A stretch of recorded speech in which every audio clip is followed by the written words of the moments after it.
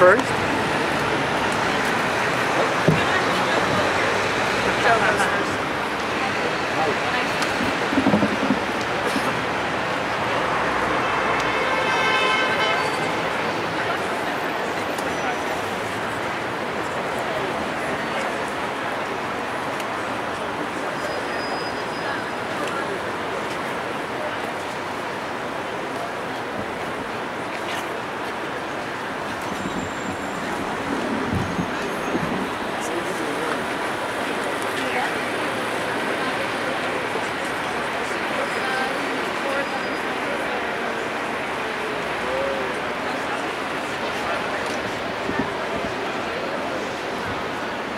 All right, so one of the things is I always wonder about crowd dynamics. If you guys want to get closer, you're certainly welcome to.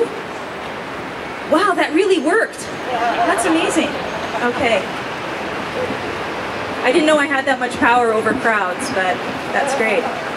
So there will be some cameras in front of you. We really appreciate that we're getting coverage on this today. In case you didn't know, this is actually part of a national event. So rallies have already started in the eastern part of Canada, and some of those will already have been concluded. And uh, we're kind of on the west side, we're the last for the country to get started. And there are rallies in Abbotsford and in Salmon Arm in BC. So I think BC is actually quite a leader in this event as far as number of rallies in Canada. So I think that says a lot about how we feel about science on the west coast.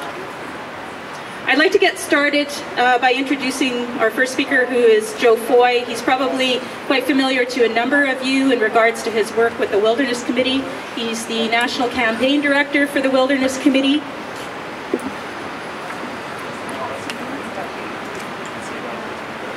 And uh, interestingly enough, anecdotally, he was the first paid campaigner the Wilderness Committee had back in 1987. Joe. Well, thank you very much. I'm going to keep my little talk uh, real short. I am not a scientist. What I am is I'm just a person who's born and raised in this part of the world, love this place where we live, care about it deeply, and I understand that the truth matters. It matters how things work.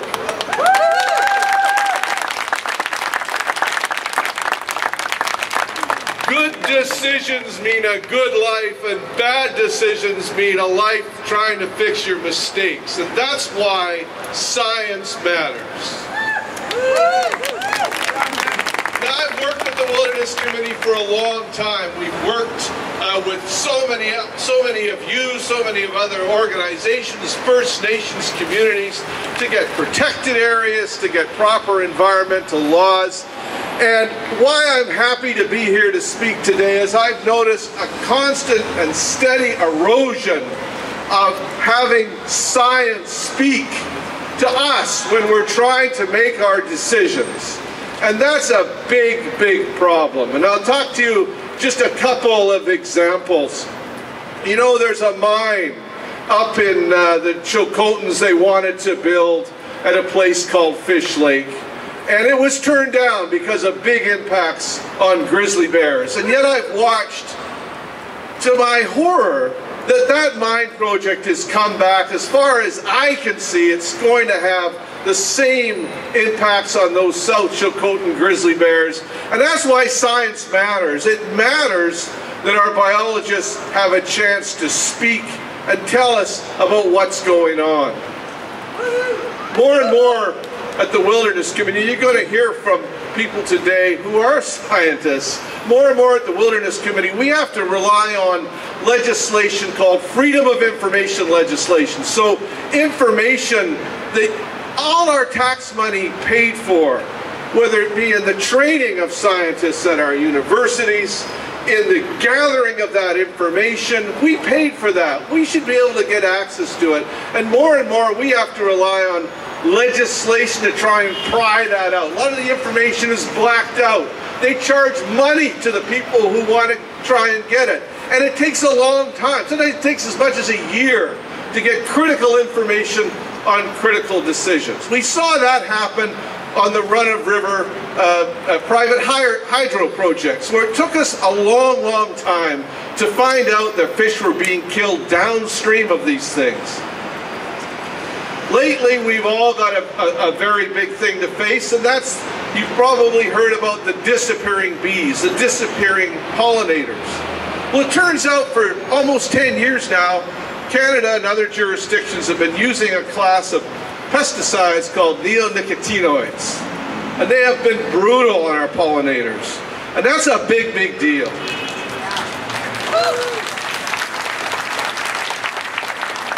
And we need our science in issues like this, and issues like the pipeline issues, and so many, many issues. So thanks for coming out today. This is going on all across the country. I'm very grateful to the organizers for doing this here and in the other towns. Let's get this turned around. Thank you very much. Thank you, Joe. You always rock the house. I'm very honored to introduce our next guest. Um, again, he's probably someone who doesn't need too much introduction from me, a very minor one. So I'd like to introduce Dr. David Suzuki. Thank you. I'm delighted to be here today, but I'm afraid, being an old professor, I'm going to give you a serious lecture today. If you were to assess what society's priorities are, by the amount of space devoted to them in newspapers or television news reports, I think you'd very quickly realize that Canadians are obsessed with politics, business, sports, and celebrity. And yet none of these is nearly as important in terms of determining the way that we live than science. Science when applied by industry, medicine, and the military I was born in 1936. When I was a boy, my mom and dad didn't worry that I was watching too much television because there was no television when I was a boy. They would let me go to movies and, or sw public swimming pools in the summer because they were afraid I would catch polio. When I was a boy, hundreds of thousands of people died every year of smallpox. These are things that smallpox and polio are things our kids today have no idea what they are. When I was a boy, there were no transcontinental phone calls, there were no satellites, there were no uh, uh, birth control pills. I could go on and on and on. Certainly no cell phones or text messaging. The world has changed enormously as a result of the application of science and technology. Science provides the fundamental insights that we need that may lead to the application of those ideas. But far more important, I believe, Science provides us with a description of the way the world works. Scientists are always making new discoveries. Why? Because we know so little. We look out and we try to discover more about how the world works.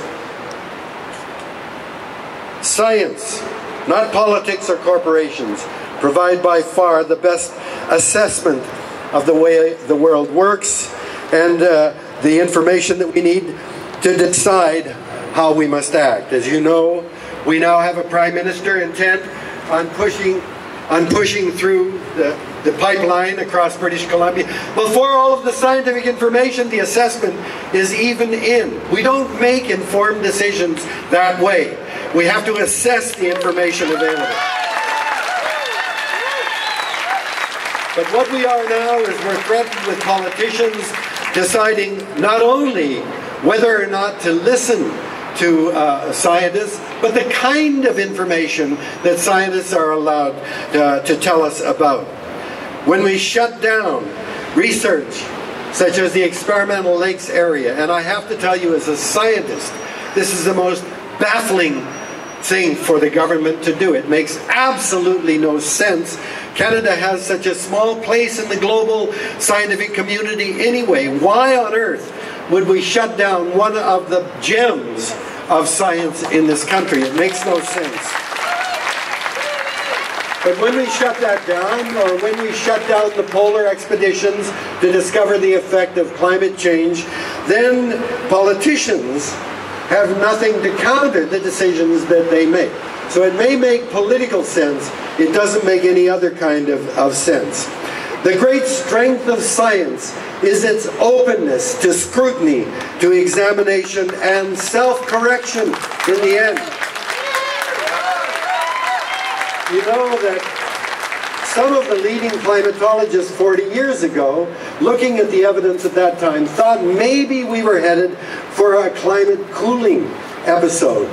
But then when the data became more, more uh, became stronger and our, our theories were much more sophisticated, it became clear, no, we were not going into a cooling, we were going into a period of global warming. But of course, that's always raised as, see those scientists? They used to say it was cooling, now they say it's heating. They don't know what the hell they're talking about. It's got no relevance. That's the very nature of science itself, the process. And we should understand that as we begin to assess scientific input. But I think that our government is acting as if out of sight, out of mind. No, they don't want to hear anything that will counter the kind of political or economic agendas that they have. How can we make an informed decision on the future of the Northern Gateway pipeline and the consequences of an oil, a major oil spill if we don't have the best scientific evidence that we have today? How can we make a, a decision about the impact of climate change on permafrost and the release of giant clathrates of methane in the Arctic? How can we make an informed decision as we look at vanishing caribou, at polar bears, or at grizzlies? How do we examine the effect of uh, pollination or the future of pollination if we don't know the science behind the effect of pesticides on pollinators? How would we, will we judge the hazards or the benefits of GMOs without science? How can we talk about the future of the acidification of oceans without science? It seems to me, and I could list dozens of issues like this that impinge on our daily lives. We need more science. We we face an increasingly difficult and uncertain future because scientists and uh, populations have suddenly increased and changed in our relationship with the earth. There has never been one billion mammals of any species on the planet until we reached a billion people around 1803. We now have 7 billion. This is unprecedented. We have a gigantic ecological footprint, but we now have amplified that with technology. Technology that enables us to attack any part of the planet in a search for raw materials and to spread our waste and toxic material all over the planet.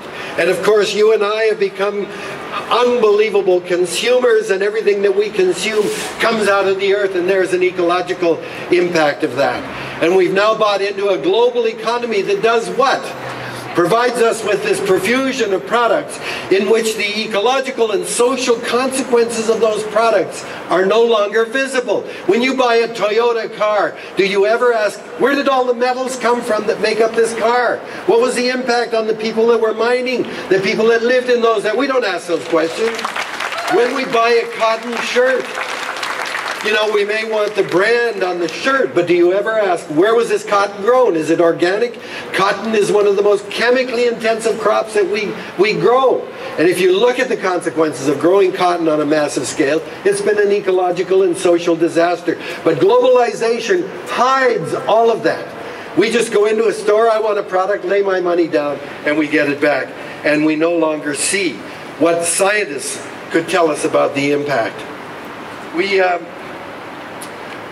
Collectively, human beings have become an unprecedented force on the planet itself.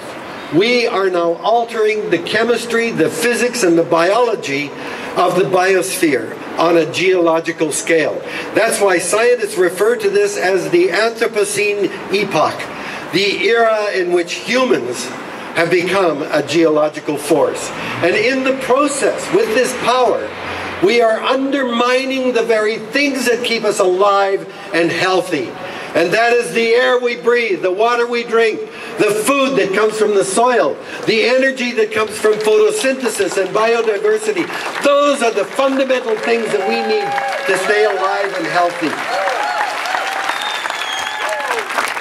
In an increasingly uncertain future, the best thing we have to guide us into that future is facts. Facts and the best information we get comes from science. We have now seen what this government is all about. It canceled the long-form census. Why? Because people should have the freedom to choose what they do or do not do. Freedom comes with responsibility. And part of that is taking part in these censuses that will provide government and society with an input on where we are at this point and how we can guide ourselves into the future. We have a government that opposes safe injection sites in spite of the knowledge that it saves lives. We have a government that has canceled the long gun registry despite law enforcement officers across the country saying that it works if you have the registration. We have a government, the Harper government, that has um, that wants to expand the prison system in spite of the fact that crime rates are dropping. Now, I'm not a guy that tends to think that uh, there are all these uh, obscure uh, things that are going on we don't know about, but quite frankly, are we expanding the prison system because the Harper government intends to create new uh, areas of criminality? How about uh, eco-terrorists? How about radical extremists? Is that what's going to fill our jails in the coming years?